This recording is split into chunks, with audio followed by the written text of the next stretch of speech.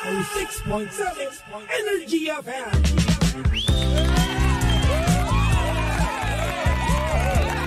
Same, same, pero iba. 106.7 Energy FM.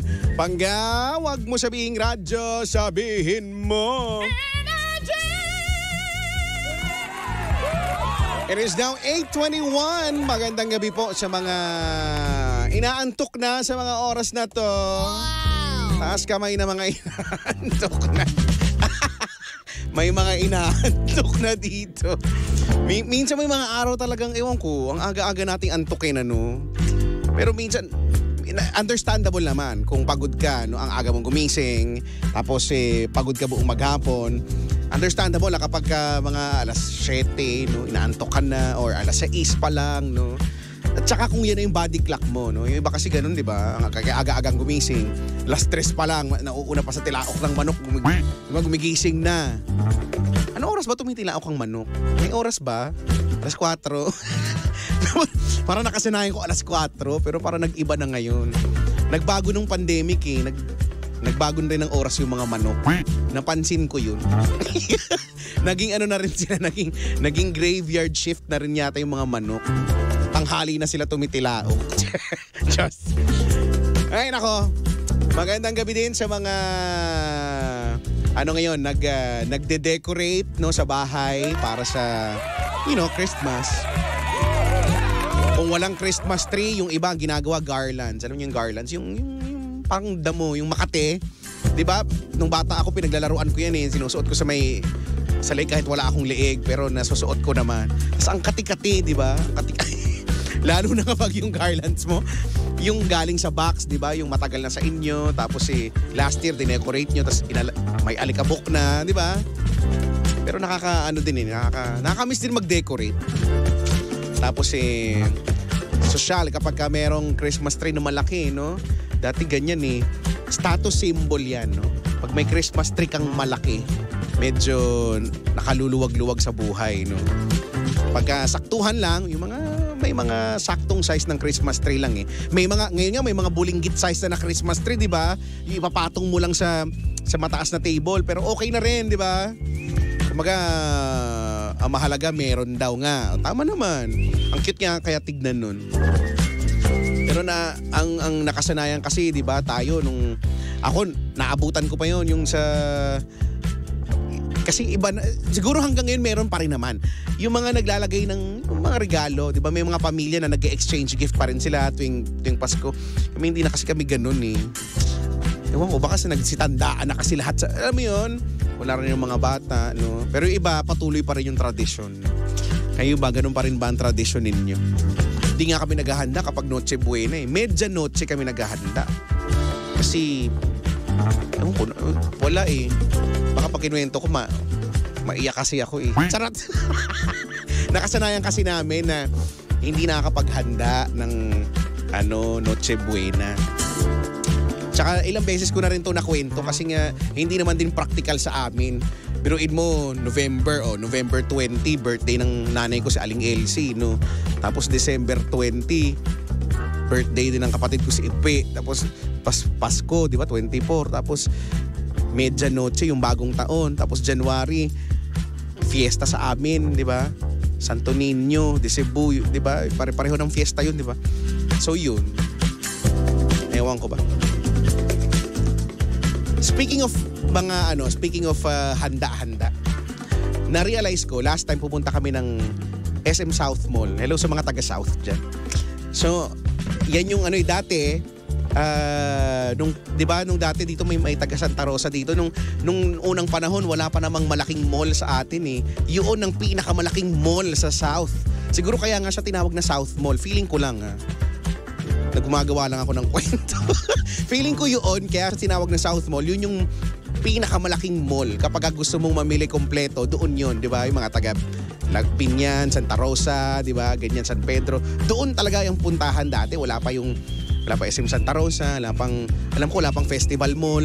Yung Alabang Town Center nag-exist pero hindi, basta iba eh, hindi siya yung mall-mall talaga na ano eh. So yun, pumunta kami doon. Ang laki nung supermarket doon. parang isa na siyang buong mall, no? Na, pagdaan ko doon sa may sa may aisle na mayroong mga yung Graham, 'di ba yung mga may crush Graham saka yung Graham. Kumuha na talaga ako dahil nagkakaubusan po niyan mga kaibigan. 'Di ba pag pagpapalapit na ng papalapit yung yung December na yung Noche Buena na ang hirap humanap ng ano ng Graham Graham. Totoo to ha sa mga gustong maka ano makagumawa kasi iba plano gumawa ng mango graham o kaya graham balls ganyan. I suggest ngayon pa lang bumili na kayo. Hindi naman mapapanis yan eh. Diba? So kumuha na kayo. So kami may naka-ready na kami. Tapos bigla kami mag-decide, no, wag na lang, wag na lang tayo. Sayang yung effort. Pero bumili na kayo ngayon pa lang. Kasi baka hindi natin alam, baka magmahal. Pero for sure, magkakaubusan yan. Sakit kaya sa ulo maghanap ng last year yata o last last year na talagang sinuyod ko yung mga yung mga supermarket na malapit sa amin. Pumunta akong Pasita, pumunta ako Santa Rosa. Na talagang mahanap na ano na Graham. Ang hirap kaya. Gusto lang naman namin mag-dessert ng kahit papaano masarap. Diba yung Graham na lalagyan nyo ng maraming maraming mangga. Ay! Tapos hindi masyadong matamis, 'di ba? Kasi hello diabetes. 'Di ba? Hello. So tatansahin ninyo yung yung timpla nung ano nung condensed milk at saka yung yung cream. 'Di ba? O, ang all-purpose cream. Sabi ni Aling Elsie, Nestle cream daw. ang Nestle cream. 'Di ba? Ay nako. Sabi dito, problema kasi dito Kuya Chico, if maaga nabili, maaga din nakakagawa, di matiis. Yun lang. Tiisin kasi ninyo. Kunyari, yung iba kasi nakakita, ay meron na, gumawa na nga tayo, bibili na lang tayo. Kaya nga yan binili para ano eh, hindi maubusan sa... Eh di damihan nyo na lang. JR, damihan nyo na lang yung para kung ma- eh, hindi kayo makatiis, gumawa man kayo, eh, may tira pa, di ba? Sabi nga pala Kuya Chicks, mahilig ka ba sa coffee? Dalhan nga kita ng dates coffee. Pag uwi ko dyan, oh, nasa Middle East ka nga pala, no?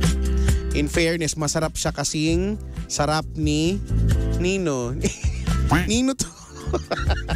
ba ang masarap sa'yo? Pwedeng ang masarap sa'yo ay hindi masarap sa akin. Depende. Pero ako masarap talaga. Charap! Happy Tuesday daw, sabi ni Hector Hennessy. Oh. Ah, sabi ni Sed Prax, Skyflakes ba? Pwede ba yun? Hindi ko alam. May nakatry na ba dito? Skyflakes daw. Imbis na Graham, Skyflakes yung nilagay. Parang matabang naman siguro. Ay, ewan ko. Pwede ba yun? Skyflakes? Di pa namin natatry. Binigyan mo pa kami ng problem. Ang dami na naming iniisip. Dinagdagan mo pa kami ng isipin. Try mo. Ikaw mag-try. Tapos balitaan mo. pero feeling ko pwede naman. Kasi di ba Sky, hindi nga lang siya ganun katamis. Pero meron ka namang mga pampatamis eh. Magandang gabi po sa mga magsing irog na ketatamis ngayong gabi. Sige lang, baka lang gamin daw kayo ha. Ah, ano to, gamit na gamit na naman ngayon ang kutsara, tinidor para sa sound effect. Sabi ni JR, anong sound effect ng ano? Sa, ano ba yan? Sa caroling ba to? Hindi na. Nag, ano, nag-evolve na ngayon yung mga nangangaroling. Meron ng uso na ngayon yung mga ano, yung mga portable speaker, 'di ba? Yung mga Bluetooth speaker, feeling ko puro gano'n na ngayon, no? 'Di ba? May mga minus one na, 'di ba? Mag-YouTube. Mag-YouTube. Tapos magma-minus one, oh. Yari kayo ngayon pagka maganda yung kanta, nakakahiyang bigyan ng ano ng ng barya-barya. Dapat ganun yung kanta, yung Mariah Carey levels, yung kaninang tinugtog ko, dapat ganun. Pag hindi ganun, huwag kayong mga ngaroling sa amin ha. Dahil makakarinig kayo ng isang malakas na patawad! Magre-record nga ako. Magre-record nga ako ng patawad, iba-ibang version, may pakanta din. yung mahihiya, yung mahihiya yung nangaroling kasi mas maganda yung tono ng patawad. Just Ay, nako.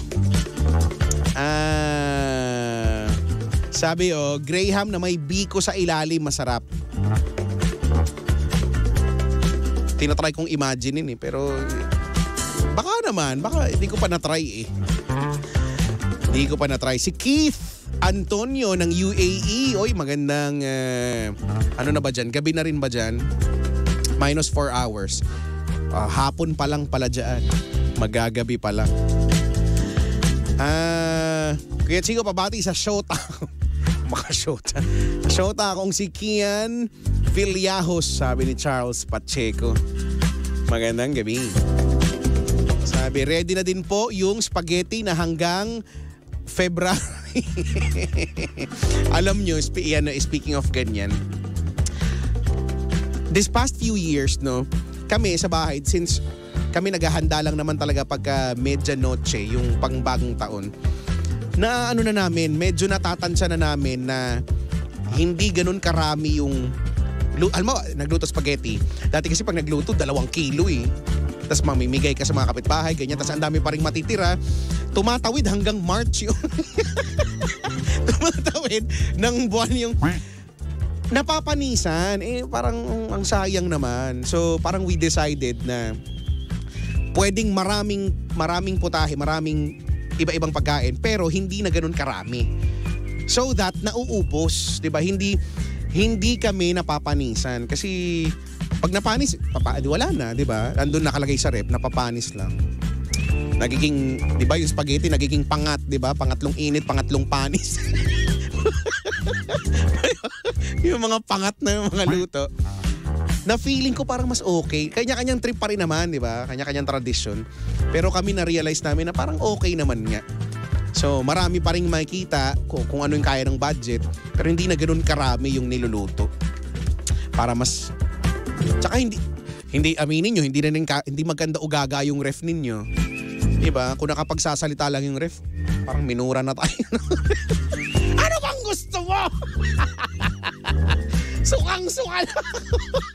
Hindi na siya magsara. Alam mo yon yung pag sinara mo yung magnet, ayaw nang kumapit. Kasi nga ang dami ng laman ng ref. Ay, nako. ah, ano, ilang weeks na lang, handaan na naman. OMG, Pasko na talaga. Kaya nga, handaan, inuman, no? Yan.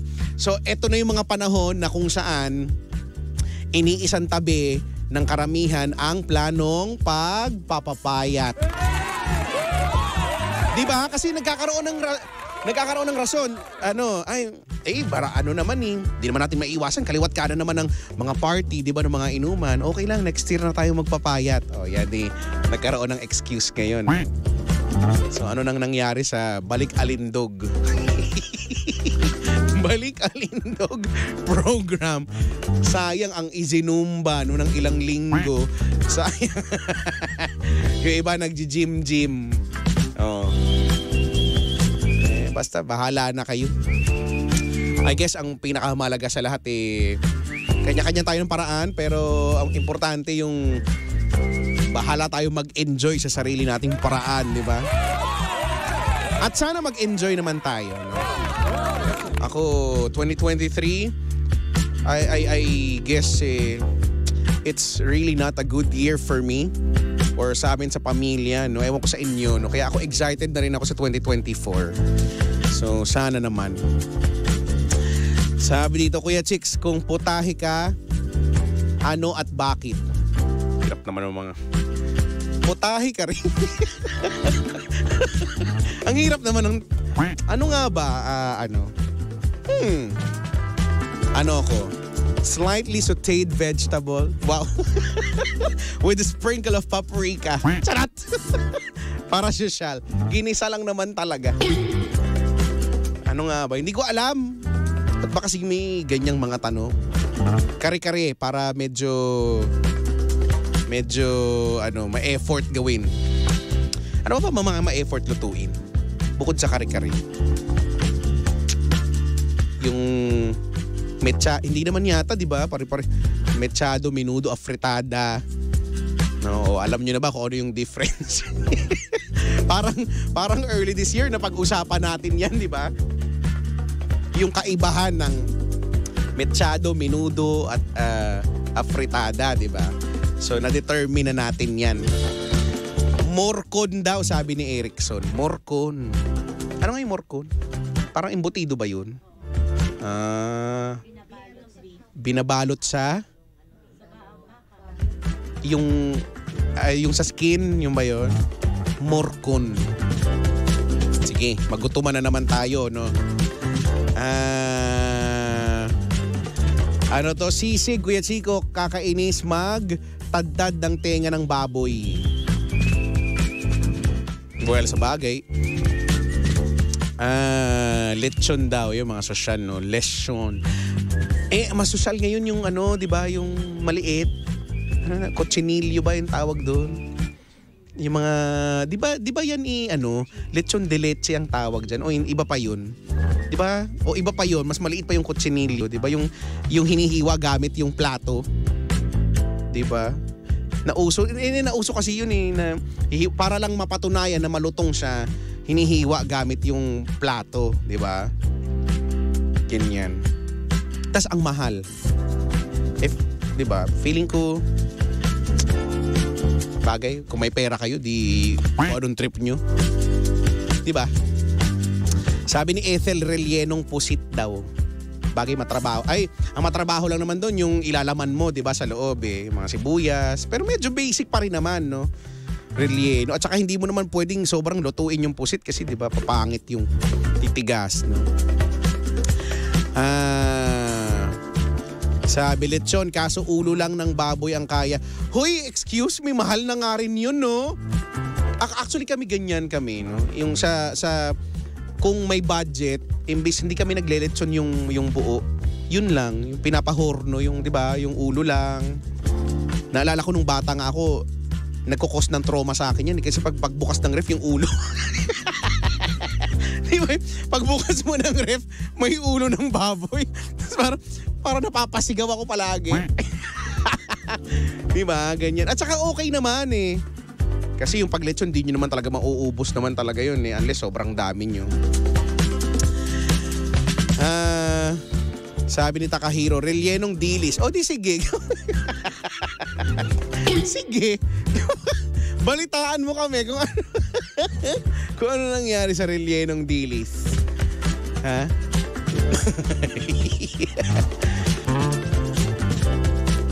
Sabi ni Mark Ricafrente, Kuya Chico, yung lechon de leche, ano yon yung baboy na makulit. Ah, bakit tinatawag yung leche? gatas kasi yon di ba? Lechon de leche, yung, yung ba yun? Pinapahira ng gatas. Kaya nga de leche, ang leche ay Spanish word for gatas eh, di ba? Pero alam ko, ano yan eh, yung, yung bata, di ba? Yung maliit na piglet. Ay, nako. Ah... Ano to? Carbonara with shredded chicharon on top sa Christmas, maiba lang. Pwede naman. Oo nga no, alam mo minsan ako nag-iisip din ako ng ano ano yung medyo maiba lang kasi pare-pareho na lang carbonara, spaghetti, 'di ba? Yan yung mga usual na makikita eh. Nag-iisip tuloy ako ng iba namang ano, ibang dish. Kala mo naman talaga ako magluluto, ipapautos ko. Hindi kung kaya ko naman eh. Pag spaghetti, ako nagluluto lagi. Gusto nila yung spaghetti ko. Ang arte ko kasi magluto. Ah, ano pa? 8.40 na si Lola, hindi na nakarating. Ang daldal nyo kasi hindi na nakarating si Lola Kerps. Kuya Chika, pabati ako ng welcome to the club. Samahan ng malalamigang Pasko, sabi ni si Nicole Siapno. Oh, sala- samahan ng malalamigang Pasko. Diba ng mga single, no? Hello po sa mga single ngayong Pasko. Bakit ba, di ba, kailangan ba malungkot kapag single? Pwede naman maging masaya pag single, di ba? Ah, sabi ni Preshel Lumpia. O yan, kagaya niyan. Kung pa, puro kayo lumpia, lumpiang Shanghai, itry nyo kaya maglumpiang ano, isda, yung galunggong, para maiba lang. Medyo matrabaho lang siya. Kasi, di ba, yung isda, papakuluan, tapos hihimayin, nalalasin yung mga tinik, tapos ga- igaganon nyo. Pero ang sarap nun, no? Pero parang mas madali siyang mapanis o dahil sa kamay. parang mas madali lang siyang mapanis kaysa sa ano. Ito suggestion lang, try nyo kaya. Ang sarap kaya, promise. One of my personal favorite, lumpiang galunggong. Sarap. Sige, total, ano na naman natin, okay na magutuman tayo, no? Sabi ni Neil Taborda, Kuya Chik, sana all tumataba. Ako kasi kahit malakas kumain, hindi tumataba. Nakakaingit nga yung mga ganyan, di ba? Kain ng kain payat. No? Tulog ng tulog puyat. Ewan ko, eh ako yung mga tipong ay hindi promise talaga, hindi talaga ako masiba kumain. Kaya lang parang kung ano yung kinain ko, bukas magre-reflect sa kanan. parang ganon, ewan ko. Yung panunaw ko ang bagal. Ewan ko ba. Ah, crispy pata daw sabi ni Alvin. Ang susya, crispy pata. Ano ba ang masarap na i-crispy pata? Yung harap o yung likod? Yung likod, di ba? Parang yung likod na na sa, 'di ba? Harap ba? Harap, ah harap. Bakit? Bakit? Ba, ba matigas ba yung sa likod? Ma'am, mapangi. mapangi daw. Yung nasa likod. Sa bagay. Sa bagay, alam naman natin siguro kung bakit sakali mang mapanghi. Ay, yung harap pala. No? Ah, sabi ni Eric Danyo, Kuya Checo Kissable Lips, sabihin mo yan pag nakiss mo na. Charot! Ang harot! Napakaharot. Sabi ni Web, ah, Josue, It's a prank lang yung balik alindog program dahil after Christmas at New Year may kainan pa sa fiesta Chinese New Year. Oo nga, yun nga Chinese New Year. Hay nako. Sabi ni Erickson, jogging sa Southwoods. Sa amin, ang dami nag-jogging, no? Southwoods. Pagkatapos mag-jogging, doon may McDo kasi. may mga, may mga, mga napupuno ng mga joggers yung McDonald's doon. Sabi ni CM Balala, importante ang kapayapaan at pagkakaisa. Yan. Yan ang sinasagot ko palagi sa mga pag nakukulitan ako sa mga sa mga sales staff sa mall, no? Ano pong hanap nila, sir? Kapayapaan at tumitigil talaga. tumitigil ako at sinasagot ko silang kapayapaan at pagkakaisa. Tapos sabi niya, ay, gagano na lang sila. Sabi ni Sheena Larupa, yung spaghetti mo, Kuya Chicks, pababa or pataas? Depende. Depende kung... Depende yan kasi... Di ba kung nasa second floor ka, o di pababa ka ngayon. O, na-determine na natin ano unahan daw na, na paa. Eh ano, ano mas masarap, kaliwa o kanan? kailangan pa ba? Kailangan pa ba kung kanan o kaliwa? Uubo na naman ako sa inyo. eh. Sabi ni Kois Ryan, iba ang spaghetti na umaabot sa March, Kuya Chicks. Sampung hibla lang ba ng spaghetti kinakain araw-araw? Sabi dito. Ay, nako. French bread with onion rings. Ang susya. Ang susya. Not so Filipino-ish. French bread. Yan yung mahaba, di ba? Na matigas yung labas, no? Pwedeng ipamalo, no? Pero wag mo ipapalo kasi pagkain yun eh. Lumpiang puso ng saging daw. Ay, hindi ko pa natatry yan. Hang, ano pa lang. Lumpiang puso, eh di yung lumpiang sariwa, yun di ba? Hindi ba yun? Sabi ni Jor, beef Wellington. Sige. Sige, gagawa kami ng beef Wellington. Pati ng beef stroganoff. ha, sige. Ha, pasosyalan. Gusto nyo pala ng, gusto nyo ng mga ganyan mga luto, ah. Ah, sabi dito, masarap din po ba sa crispy pata pag ano, pag sakang? sakang naman talaga yun. Karamihan naman sa kanila sakang. Sige, pipili ako ng piki para maiba lang. Para mas masarap. Ay, nako. Ah, sabi ni Key, hotdog po na malungkot. Papa, Ano yung hotdog naman? Iba yung naiisip ko. Huwag na nating pag-usapan yung hotdog na malungkot. Seafood pasta daw. Yan, medyo okay-okay. Medyo nakakasosyal-ish ng seafood pasta. Ah, sabi ni Alan, chicken cordon bleu. Yan medyo, medyo nagiging basic na siya, di ba? Sabi ni John Ferson, paella. Uh, paella! Hindi naman lahat marunong gumawa niyan eh. Ano to? Batak empanada, Kuya Chicks. Empanada. Gusto ko tuloy na empanada ngayon. Patatim o Chinese chicken feet? Ano ba yung luto ng Chinese chicken feet? Eh, parang sabi adobong adidas lang yun. Okay na kami doon eh. Masarap na kaya yun, no? Sabi ni Lanlan, lobster, Kuya Chicks. Alam mo, nakatry ako ng lobster dahil libre lang. ang mahal kasi. Pero hindi ko naibigan. Ba't ganun? Matabang ba talaga ang lobster? Di ba? Ang nagpapalasa sa kanya kung, kung anong ilagay mo.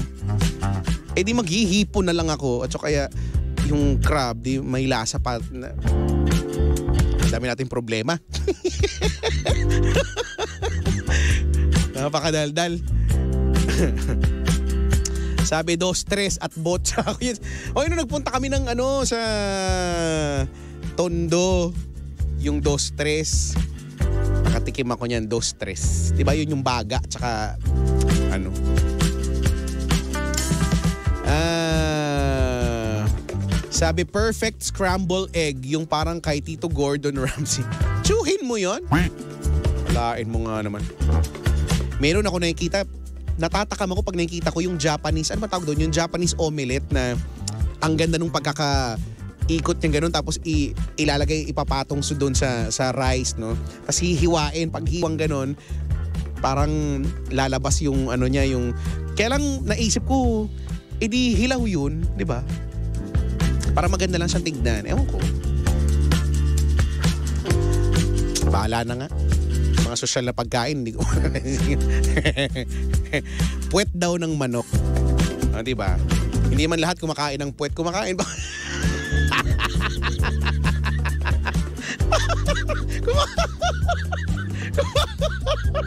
Bakit, bakit tumatawa? Eh di ba? Eh di kasi, dati kasi, dati kasi may nagtanong niya, eh, kumakain ka ba ng puwet?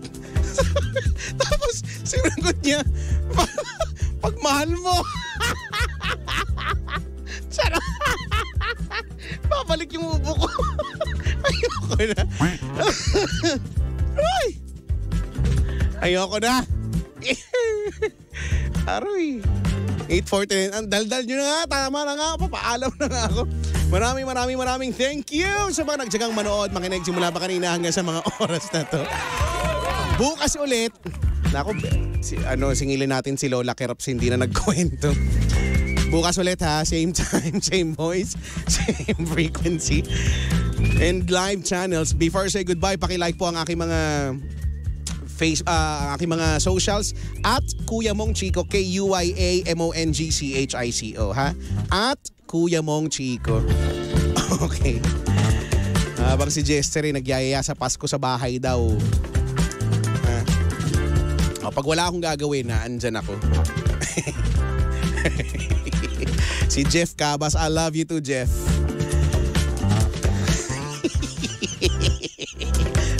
Hindi na naman ako makamove on. Sige na, susunod na si Papa Jackson para sa Hello STG.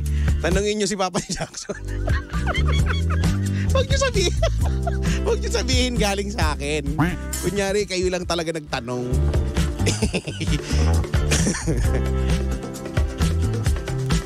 Tama na. 10 minutes before 9 in the PM.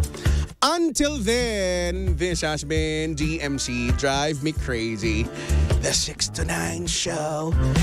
And this has been your DJ. Ako po, si Kuya Chico. Your favorite DJ. Saying goodbye, take care, you go far, and God bless us all. Just keep it right here on Energy FM. Leaving you now with Angeline Quinto. Ang kanya awiting Hulog ng Langit. Nasabihan ka na ba niyan? Alam mo, ikaw ang hulog ng langit. Eat. Kainan na! Huwag mo sabihin radyo, sabihin mo.